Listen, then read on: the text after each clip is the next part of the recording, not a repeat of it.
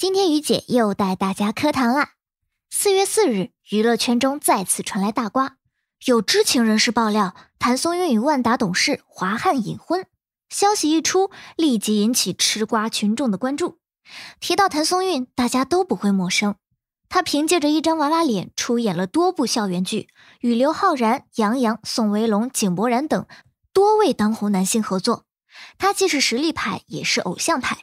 虽然在流量上与杨紫等人有着一定的差距，但也拥有不少粉丝。早在二零二一年时，网上就传出谭松韵结婚又离婚的消息。毕竟她已经三十岁，结婚也是情理之中的事情。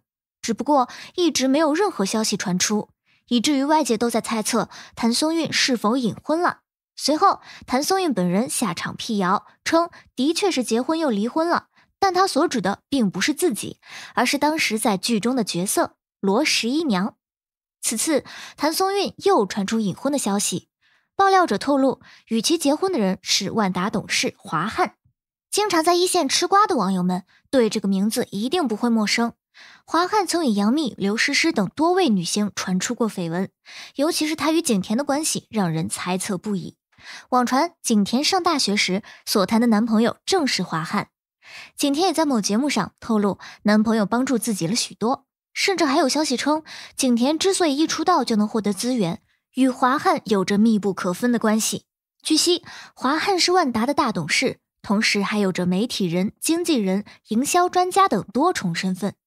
谭松韵被传与其结婚的消息，也并不是空穴来风。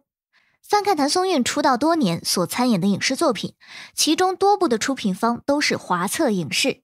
而在二零一六年时，华策影视以两亿资金入股万达影视。紧接着，在二零一七年就有娱记爆料称谭松韵与华汉隐婚，只不过这一消息在当时并没有引起大家的关注。如今时隔六年后，谭松韵再次被爆出与华汉隐婚的消息，但是工作室在今天上午十一点左右进行了火速辟谣，假到离谱，目前未婚且单身，切勿造谣传谣。不得不说，这回复简直简洁有力，直截了当。不知道打了娱乐圈多少有绯闻、先发律师函却不敢说自己是单身的明星。同时，于姐本着磕 CP 的原则，第一时间想到了二月十四日同样深陷隐婚绯闻的王凯。毕竟他俩的相逢而行太好看了，戏外也 CP 感满满。一位有着七百五十万粉丝的知名大 V 爆料，王凯其实早已有了女友。而且已经进入了试婚阶段。嗯，究竟是谁？于姐当时在脑中迅速过了好几个人的名字，最终私心的幻想着是韵韵。众所周知，王凯可以算得上是一位实力演员。八年前的一部《伪装者》将他直接送到国剧一线男星的行列中。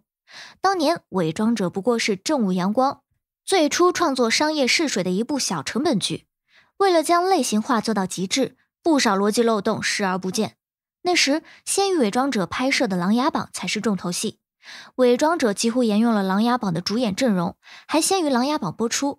他的大获成功，等于为《琅琊榜》做了一个预热大广告。《伪装者》官宣的是双男主，胡歌演的明台和靳东演的明楼，王凯演的是明成，位居第三。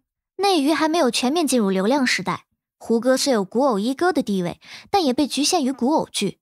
他极度渴望突破偶像明星的地位，渴望成为演员。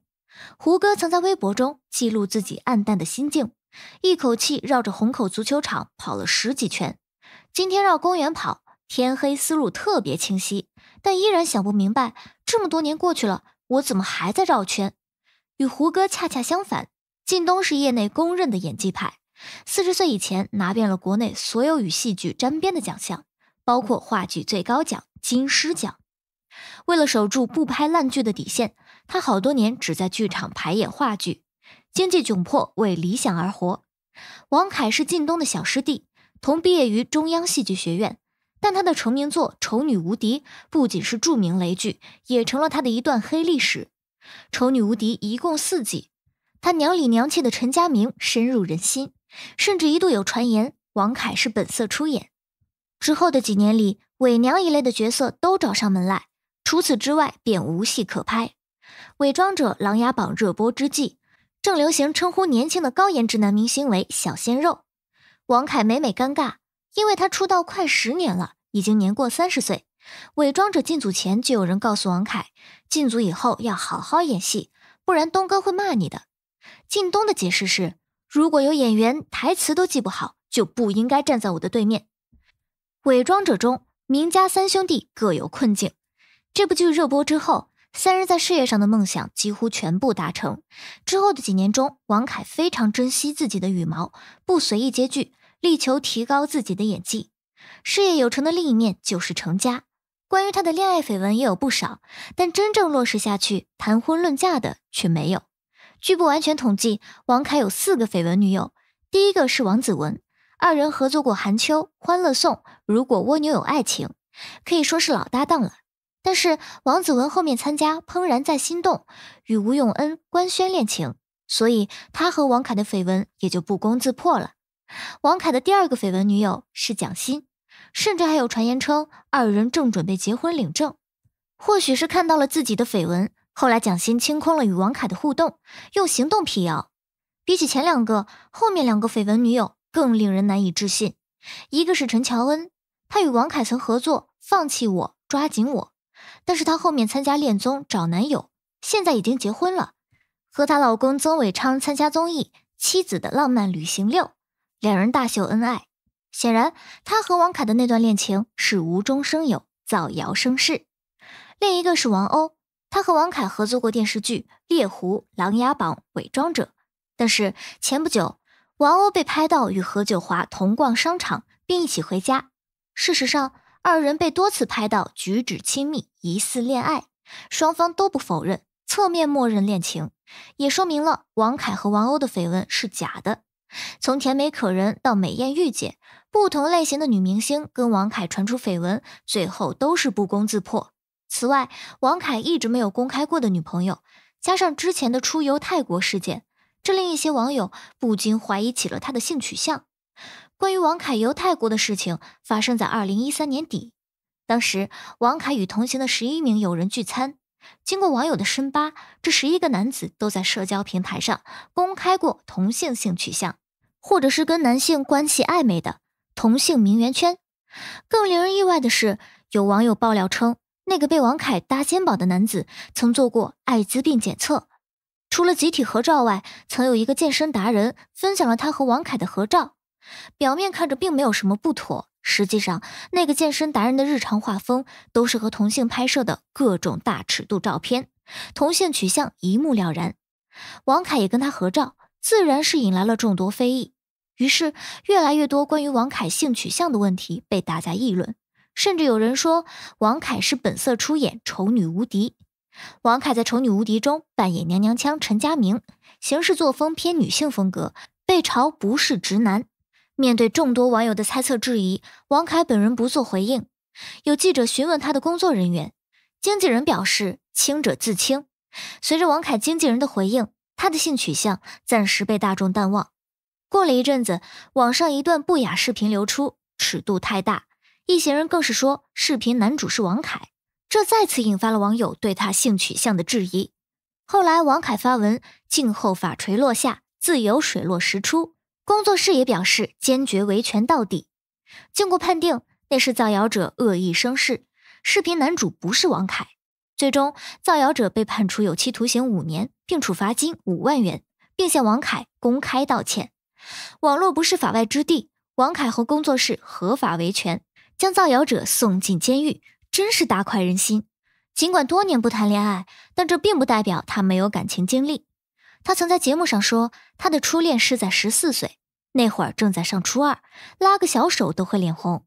他还分享了与前任交往时的细节。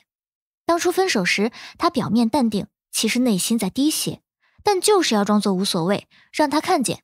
对于感情，王凯在节目上说，他不是一个浪漫的人。如果对方在平常又没过年又没过节的时候找他要礼物，他就会觉得难以理解，也不是抠门，就是觉得没必要。由此可见，王凯是有些直男的行为在身上的。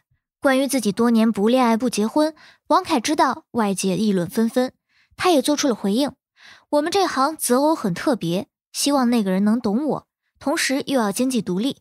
只要是对的人，等再久都没关系。显然，他是还没遇到那个对的人，自己也不想将就。另外，王凯称自己更注重两人在一起的感觉，觉得婚姻就是法律上的一种约束。他不是特别憧憬婚姻和着急，一方面说自己期待等那个对的人出现，另一方面又说不是特别憧憬婚姻和着急。两段话看起来有些矛盾，但也不无道理。或许王凯是想表达他对感情很慎重，不是一个喜欢暧昧关系的人。不仅是在爱情上理智清醒，对于事业。王凯同样有着明确的认知。